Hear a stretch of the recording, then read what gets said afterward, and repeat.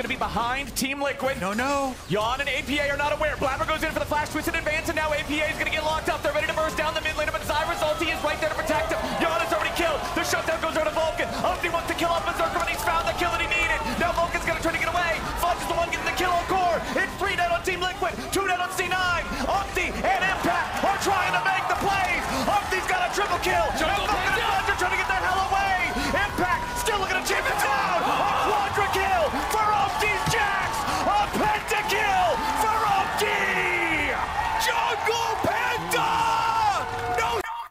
Holy shit, this is very hype. Team Liquid Umti gets a pentakill in game 1 versus C9. Uh, huge shout out to Impact in this fight who also kept Berserker in in his cage. Really manhandled him. Uh, carry junglers are so much more exciting to watch than tank junglers.